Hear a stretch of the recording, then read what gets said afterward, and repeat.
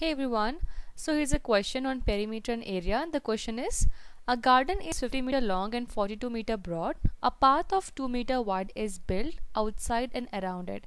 Find the area of the path in hectares. So to explain this, I have taken a figure. They have given a garden long and broad means length and breadth is given. So length is 50 meter and breadth is 42 meter. Suppose the inner rectangle is a garden. So this will be 50 meter and this will be 42 meter right? I'm taking this rectangle as r1 now what they have said is they have built a path of 2 meter wide which is across or which is around it means around this garden that is outside towards it they have built a 2 meter path. So here we'll get this path right? So you can see this portion will be a path. Now we have to find out the area of the path so how to find out this area of the path? Now to find this area what we're gonna do is we're gonna find out the area of this bigger rectangle and the area of the smaller rectangle. So inner rectangle we know length and breadth is given. But what about the outer rectangle? We don't know what is this. So it's very simple. Since they have given the path is 2 meter that is this is 2 meter.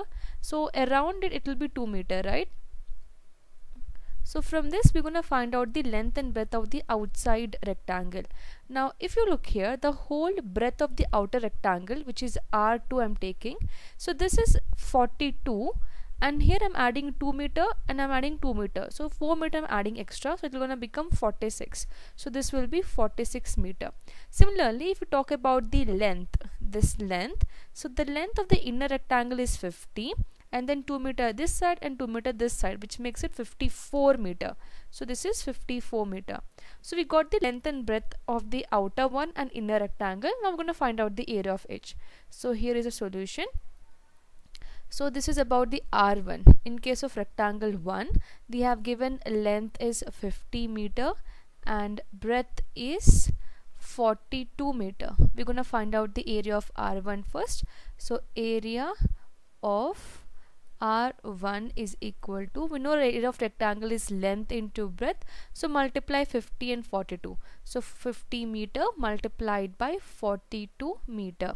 So when you multiply this we get the answer as 2100 meter square.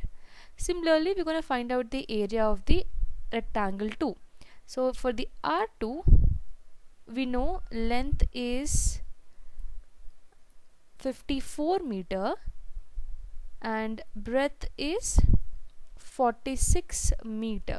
Then area of R2 will be so area of R2 is again equal to length into breadth. So it is 54 meter multiplied by 46 meter. So when you multiply this we get the answer 2484 meter square now to find out the area of the path like I told before we have to subtract the area of the bigger rectangle and the smaller one. So from bigger rectangle we're going to subtract the area of the smaller one. So area of the path will be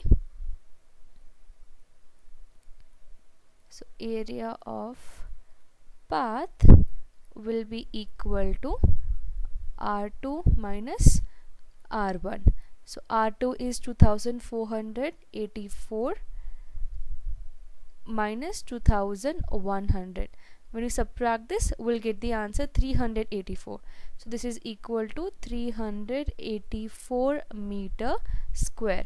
But they have given the question that they want the answer in hectares. So we're going to convert this meter square into hectares.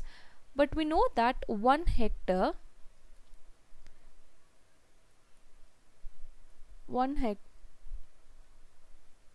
is equal to 10,000 meter square. Now here hectares are hectare is greater than meter. So here meter square when you convert into hectares you have to divide it. When you convert smaller unit the greater one you have to divide it. So it will be equal to so area of the garden or the area of the path will be so area of the path will be equal to we have divide 384 by 10,000 so 10,000 and here we'll get hectare.